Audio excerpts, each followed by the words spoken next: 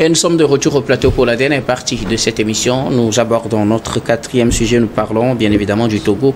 La rentrée scolaire 2024-2025 euh, à nos portes. C'est dans quelques heures ou disons dans quelques jours.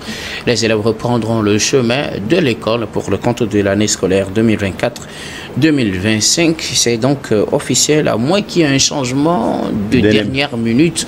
En tout cas, pour le moment, c'est ce qui est retenu. Nous en parlons avec nos invités. Rentrer euh, dans un contexte hein, euh, de décisions prises par les, ministères en charge des, enseignements, mais également dans un contexte de crise financière, quand on écoute les parents se plaindre des, des difficultés financières qu'ils éprouvent à cette rentrée.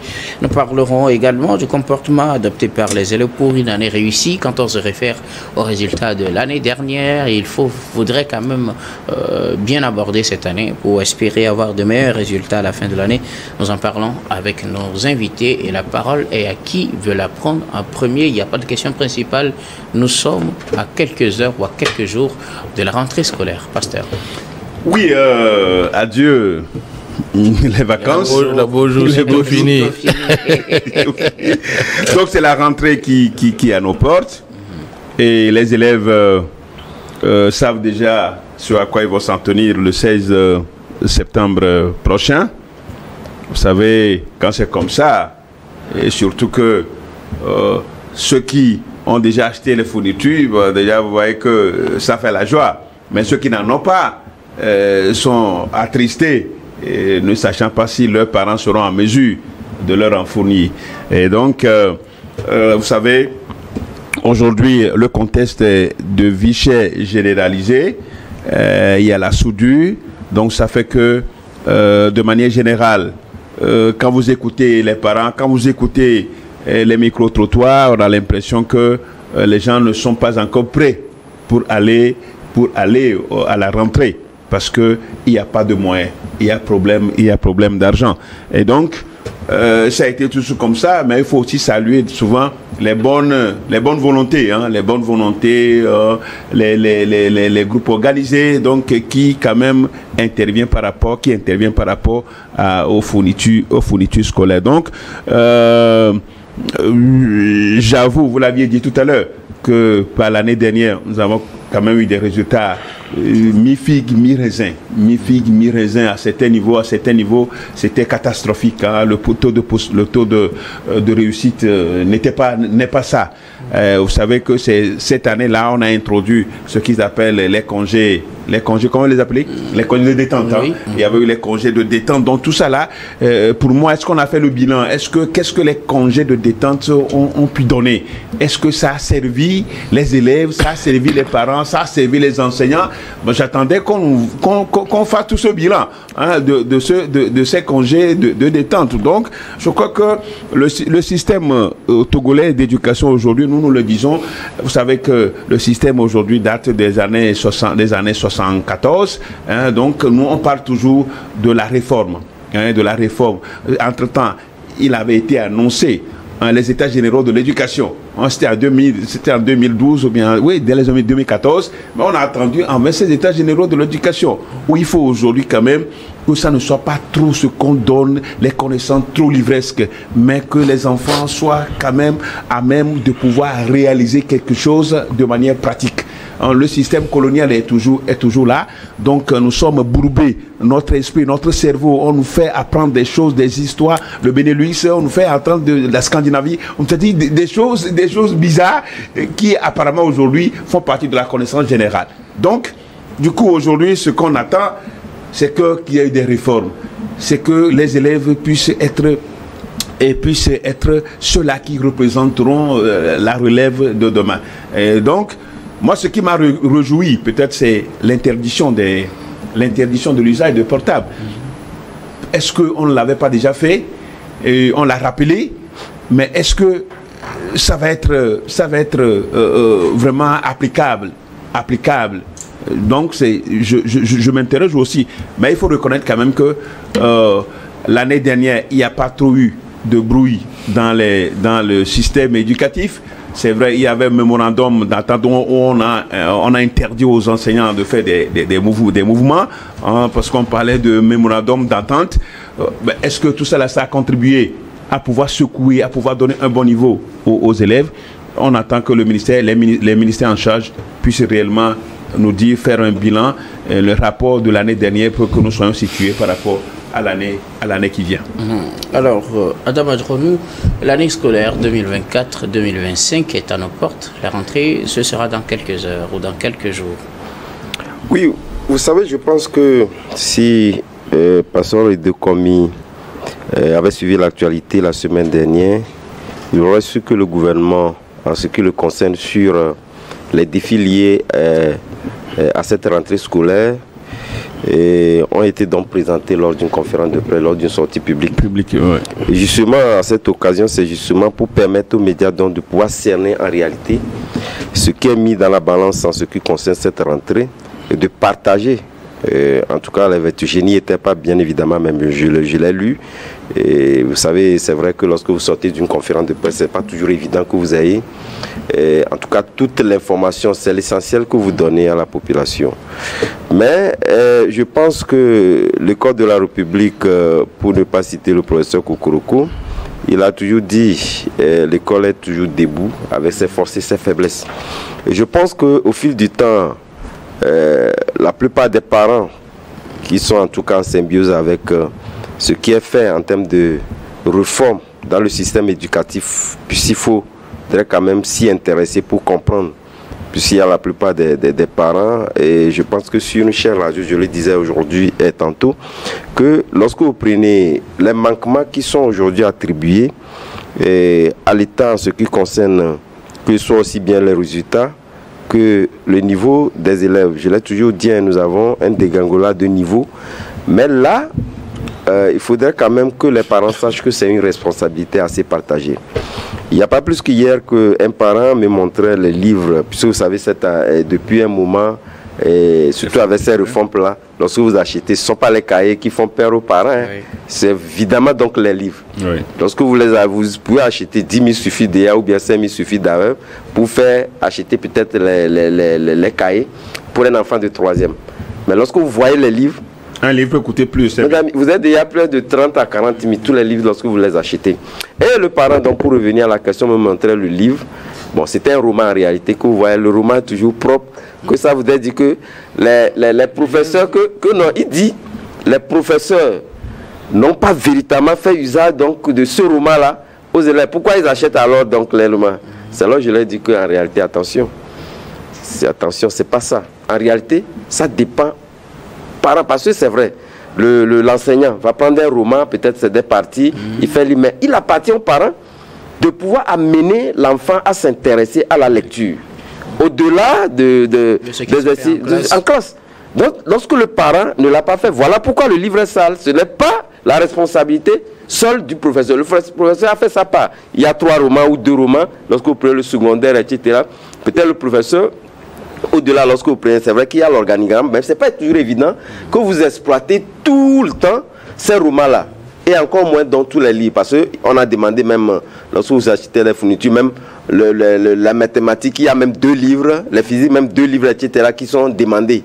Et surtout, quand le professeur a la passion pour, euh, en tout cas, une édition donnée, il s'intéresse davantage à cette édition. Mais il appartient quand même aux parents de pouvoir suivre ces enfants-là. Donc c'est là où la responsabilité des parents est beaucoup plus en, engagée et appelée, liée donc à ces résultats-là, qui sont plus ou moins mitigés. Et moi, je me dis aujourd'hui, la compétence qui doit être recherchée devait donc interpeller les parents au-dessus de diplômes qu'ils veulent donc donner aux, euh, qu'ils veulent donc que ces enfants-là aient.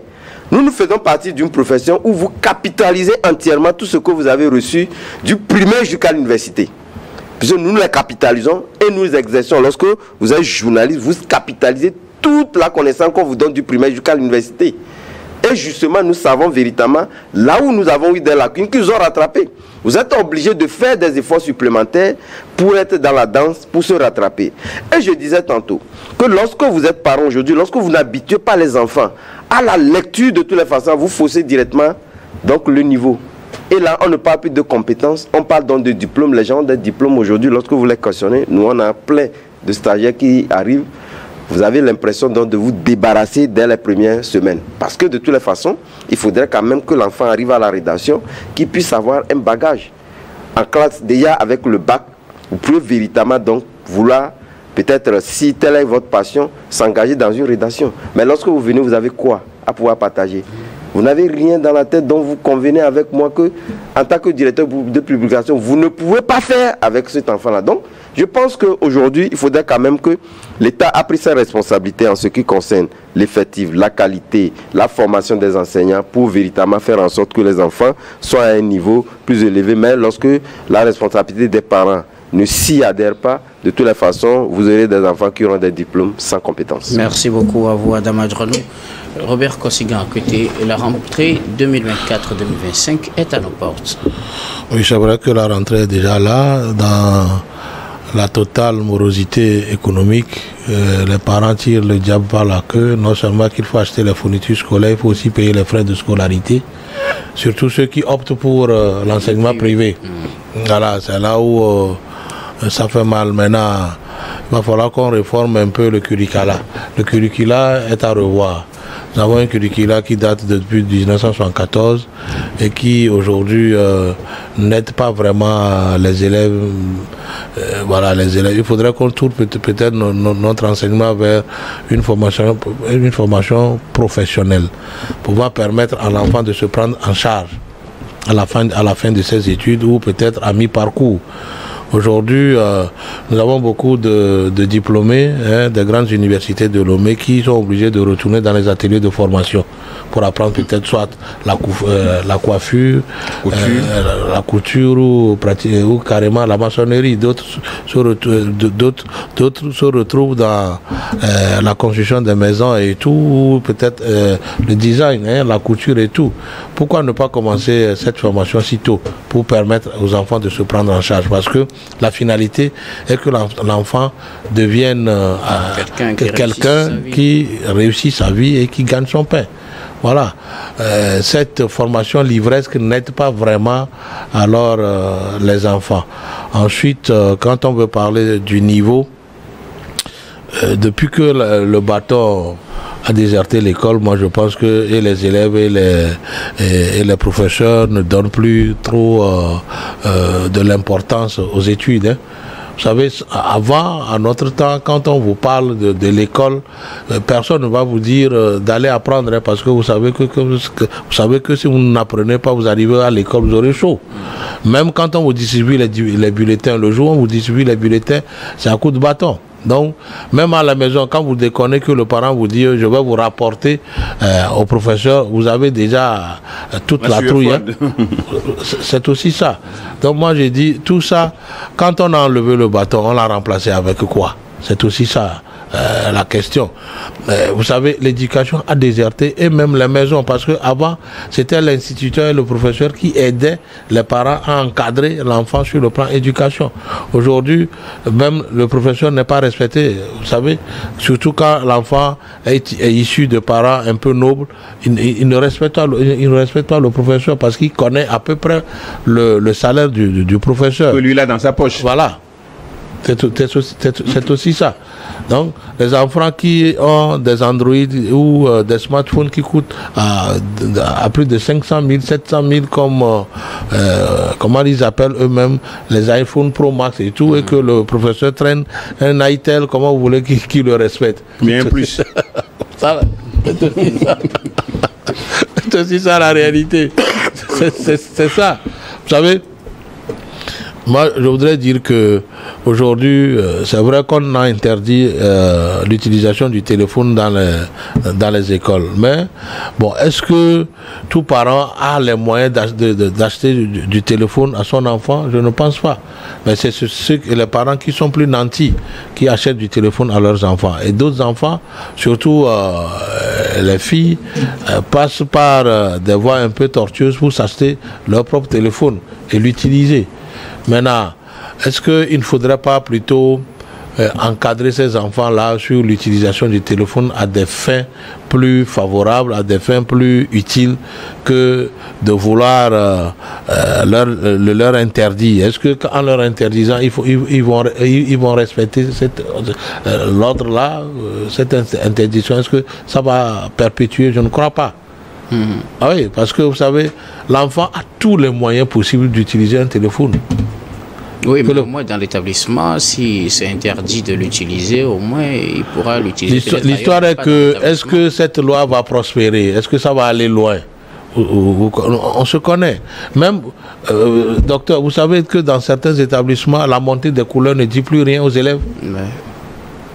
Avant, quand nous étions au collège ou au cours primaire, quand euh, il s'agit de la montée des couleurs, même le passant, le cultivateur, mais qu'il soit sur son vélo ou sur sa moto, les, gens s'arrêtent. Jusqu'à ce qu'on ne monte les couleurs, on ne chante l'hymne national avant que les gens ne continuent. Et les élèves sont droits comme piqués. Aujourd'hui, ce n'est plus le cas. On ne sait même pas si on monte encore les couleurs dans les établissements, dans les établissements scolaires. Les élèves, sont, les, élèves sont insensibles, sont insensibles à cela. D'ailleurs, le retard, vous voyez les, les, élèves arriver à l'école euh, au-delà de 7 heures. Et, euh, dans certains établissements à Lomé même, déjà, à 6h, à 6h45, on ferme, on ferme, euh, l'entrée.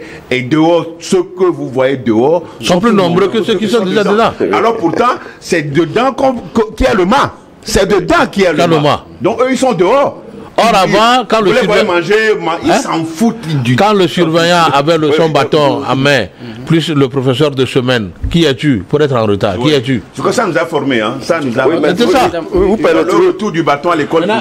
C'est vrai que c'est vrai qu'il y a des, des ONG qui alors promettent aujourd'hui le, droit des enfants, c'est vrai. Mais on a oublié de, de, de leur rappeler les devoirs les devoirs des enfants. On dit seulement leurs droits. Et puis il y a même des parents qui aujourd'hui réclament ce que il y a des professeurs qui ne touchent pas leurs enfants. Hmm. Hein, maintenant. et les enfants sont laissés comme ça. Les, enfants sont laissés pour compte personne. Personne ne peut rien leur dire, je vous dis. Personne ne peut rien leur dire. Pour vous, qu'est-ce qu'il faut changer à cette rentrée Il faut le retour bien appliqué du bâton, changer le curricula, et puis euh, revoir peut-être euh, un peu euh, trouver une solution plus plus solide pour la morosité économique qui frappe le pays. Mhm. Ce n'est pas ce n'est pas propre au Togo hein. Mhm. Voilà, il faudrait que prions pour que la guerre en Ukraine cesse pour que voilà, les navires puissent retourner en mer pour que nous ayons les produits à moindre coût. Je pense que euh, M. Akute a touché un problème euh, tout de moins euh, assez explosif qui serait très difficile de pouvoir trancher ici et mitiger également. Mais avant d'aborder ce sujet-là, j'aimerais faire comprendre en réalité la question du bâton ou pratiquement des punitions corporelles excessives qui nuisent en réalité donc à l'évolution de l'enfant. Nous a-t-on dit n'est pas une émanation togolaise. C'est une confession, tout à fait. Donc, mais je le pense que voilà. fait du bien. Hein, ouais, plus ça dépend. Moi, je pense que c'est une question d'atmosphère. Mais quand même, la question sur laquelle je voulais donc rebondir, liée au fait qu'il a proposé, en fait, qu'au lieu que l'enfant finisse un parcours il, aurait pu mieux apprendre directement donc un métier, avant d'en définir. Je pense que c'est une question pour moi, de, une question psychoculturelle liée donc au pays. Pourquoi? Je le dis. Moi, je suis plus favorable à ce que je vois un enfant ou un élève finir euh, pratiquement un parcours et justement lorsqu'il choisit véritablement d'apprendre un métier d'y aller. Justement parce que, parce que l'école, l'école, le, les fondamentaux de l'école, comprennent dans l'enseignement technique ou privé, etc., c'est lié d'abord à la construction humaine. Et cette construction humaine, je l'ai toujours dit, lorsque vous prenez notre environnement, ce qui fait d'ailleurs même qu'aujourd'hui, eh, la plupart des gens veulent véritablement aujourd'hui avoir plus de diplômes et non la compétence est justement lié au fait que notre environnement, on a plus considération et lorsque vous prenez les grands faits décisionnaires, aujourd'hui nous parlons des élections, etc., et lorsque vous prenez que ce soit local, régional, etc., c'est un paramètre qui rentre en ligne de compte. Lorsque vous êtes menuisier et que vous estimez qu'en réalité la personne, après le BPC, aille donc apprendre et il rentre dans la vie active demain, ça risque donc de le rattraper. Mais aujourd'hui, c'est que nous comprenons le fait que on peut finir son thèse, on peut finir son master et retourner à corps vaillant, apprendre un métier qu'on souhaiterait. Donc pour moi, je pense que c'est un débat qui est là permanent. Mais lorsqu'on peut et faisons en sorte d'accompagner ces enfants-là. C'est une question d'âge. Lorsque l'enfant finit par le parcours à un âge beaucoup plus acceptable, 20 ans, 21 ans, il a déjà son master, pourquoi ne pas aller apprendre un métier Demain, il aura besoin de, de postuler à un poste, il a le bagage qu'il faut, il a encore son métier. Donc la question de la profession ne serait plus un baromètre qui jugera de votre appartenance à des sphères décisionnaires données. C'est ce qui devrait donc être l'ascendant de nous les Africains, parce qu'en Europe, que vous soyez balayeur de rue, vous êtes considéré au même pied qu'un ministre qu'on nomme. Demain, on peut vous nommer également un ministre. Donc pour moi, moi je suis plus favorable quand l'enfant, qu'on puisse les accompagner, finir un parcours et de pouvoir donc embrasser un métier de son choix. ne pas mêler les deux en même temps Oui, c'est possible. ça se fait. La fusion, la fusion ça se fait. Voilà. Mais il faut savoir gérer. Il faut faire la fusion en même temps. Non, mais, mais, mais, nous, nous, quand même, nous-mêmes, nous avons nos propres exemples. Nous, nous sommes partis des techniques audiovisuelles que nous avions appris, mais la passion de métier étant venue, nous sommes encore allés s'inscrire pour finir donc les parcours et être des journalistes. Oui, il y a quelque chose à donc, le, pas... le coût qu'on investit dans la formation académique pèse, hein non, mais ne voyez pas ça. Voyez la constitution humaine que nous avons. vous savez, les parents, quand ils soutiennent leurs enfants, du coup primaire jusqu'à l'université, il y a des universités aujourd'hui qui coûtent euh, hein, le, prix des yeux à Lomé. Il y a des universités à plus d'un million aujourd'hui, il y a des formations à plus d'un million aujourd'hui là. Quand le, le, parent finit par payer tout ça et que l'enfant euh, finit par avoir ses diplômes en poche, revenir dans la vie professionnelle, que c'est le parent qui doit encore sortir les sous pour ça, mon frère, ça, pèse. C'est hein. comme si c'était le sacrifice. On sait que l'enfant, c'est le sacrifice. Donc, continuons le sacrifice. moi, j'ai dit, il faudrait déjà, à bas âge, orienter l'enfant peut-être à un niveau donné, soit c'est le baccalauréat, ça c'est le brevet, et euh, le parent oriente déjà son enfant dans une formation professionnelle. Et Comme se fait dans la plupart des pays anglophones. C'est tout. Parce que la finalité, c'est que l'enfant gagne dignement sa vie mhm. à la sueur de son front. Merci beaucoup. C'est tout. Robert et Emmanuel, et, pasteur. non, non, c'est pour dire que, vous savez, quand nous parlons des acteurs des acteurs d'éducation, il y a les, les, les enseignants, il y a les parents, il y a, il y a il y a le gouvernement, hein, il y a le gouvernement, et puis bon, il y a les enfants même. Et donc, du coup, moi, je pense que il faut aussi quand même qu'on revoie euh, au niveau des, des, des, enseignants, la formation des enseignants. Il faut renforcer la capacité des enseignants. C'est vrai, nous avons de très bons enseignants, nous avons de, qui se sacrifient beaucoup, qui font de très, de très, de très bons boulots. Euh, mais il faut leur favoriser aussi l'environnement. Et il ne faut pas faire de l'enseignant. Hein, c'est comme si les enseignants sont soumis, hein, sont soumis à des droits de veto de la part des autorités. Et ça, c'est très important. Par exemple, quand moi je prends, je finis, juste, je finis juste pour dire que, par exemple, hier, nous nous avions rencontré euh, euh, tous les chefs d'établissement euh, préscolaires et préscolaire et puis primaire de, de, la commune Golfe 2. Nous avons échangé avec eux, nous avons échangé avec eux, nous avons ensemble échangé sur les difficultés, quelles sont les, les, alternatives, ce qu'il faut. Et donc à la fin, nous les avons donné des matériels euh, pédagogiques et autres hier, par exemple dans la commune Golfe 2. Donc euh, il va falloir quand même qu'au niveau municipal, communal, que les acteurs, hein, qu'il y ait un plan communal d'éducation. Et là, euh, à ce niveau, à ce niveau, on pourra rapidement faire, comme il le dit tout à l'heure, fusion de, de, la formation, c'est-à-dire euh, éducation, formation, emploi, ben, quelque chose comme ça. Je crois que ça pourra, euh, ça pourra permettre à la qualité, hein, à la qualité d'éducation qu'on voit. Une fois encore, sur ce plateau, le, les enseignants de syndicats des, des, syndicats des enseignants du Togo qui ont été licenciés et qui aujourd'hui traînent un peu partout. Euh, une fois encore, je fais, je fais le plaidoyer qu'on les ramène, ceux qui veulent encore venir à l'éducation, qu'on les ramène à l'éducation. Oui, mais, euh, docteur, non, je voulais, je voulais en fait qu'il précise quelque chose. En fait, je voulais que vous précisiez en réalité, lorsque vous le dites, la population en réalité ne comprend pas en réalité que les maires, c'est de leur prérogative. Lorsque nous prenons le secondaire, ils sont dans leur rôle. Le Souvent, il faut prendre le soin de pouvoir expliquer ça à la population. À vous, tous, nous sommes pratiquement à la fin. Donc mais c'est pas une faveur. Euh, si vous permettez, nous sommes à la fin. On va faire un dernier tour de table. Ce sera pour vos mots de fin sur un sujet de votre choix. Mais très rapidement, je commence par vous, Adam. Oui, ce qu'il faut dire, je pense que nous allons toujours rester dans le secteur de, de l'éducation. On l'a toujours dit, un DG me disait toujours, l'école construit et bâtit. Mais c'est le métier qui donne qui donne l'emploi. L'école, ça construit, ça bâtit, mais c'est le métier qui donne l'emploi.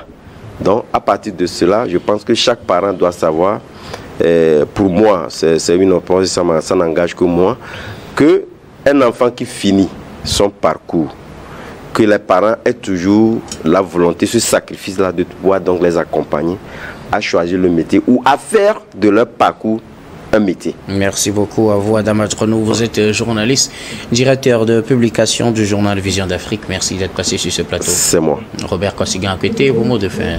Ah, je voudrais encourager les, élèves, les étudiants qui vont bientôt retourner dans leurs amphis et dans leurs salles de classe de mettre du sérieux hein, dans leur apprentissage. Parce que vous savez, quand ils ne se sacrifient pas assez, qu'ils ne soient pas surpris qu'à la fin de l'année, ils seront recalés, ils seront parmi ceux qui euh, n'ont pas réussi. Et ça, ce n'est pas du tout bon. Avoir le cours de la vie, il va falloir que tout, enfant ait euh, à cœur de, de réussir l'année scolaire en cours pour alors encourager le parent d'aller euh, chercher alors dans les tréfonds de son travail, de son économie, le peu qu'il a pour le soutenir à l'année prochaine. Et puis c'est lui qui gagne euh, parce qu'ils sont appelés à être les relèves de demain. C'est très important. Et d'oublier un peu les téléphones, les TikTok et tout. C'est quelqu'un qui a été à l'école, qui est formé, qui maîtrise euh, les TIC, qui a créé TikTok. Il va falloir que eux aussi pensent à créer un programme demain qui puisse être universel et gagner leur vie à partir de là, que de se faire esclave de cette application et ne pas apprendre. C'est très important. Mhm. Je voudrais aussi euh, remercier, remercier un certain nombre de personnalités, à commencer par le pasteur Edo, euh, Monsieur Agama. Je voudrais remercier aussi euh, beaucoup de personnes que je ne peux pas citer ici, l'honorable Disseno, l'honorable Viak Boudjeri et l'honorable Jacqueline Amiviaka pour tout ce qu'ils ont eu à me faire dans un passé très récent. Et je voudrais prier Dieu de les bénir et d'ouvrir un champ euh, considérable de bénédiction pour eux, afin qu'ils puissent alors être plus grands, plus vastes dans euh, la bénédiction financière, matérielle et que Dieu, Dieu les accompagne chaque jour. Merci beaucoup à vous. Je voudrais aussi remercier le docteur. Euh, docteur, c'est très important. Merci beaucoup. À vous, Robert Kossiga, à côté, vous êtes analyste politique et président de l'Alliance Jeunesse Développement JD. Merci d'être passé sur ce plateau. Merci, docteur.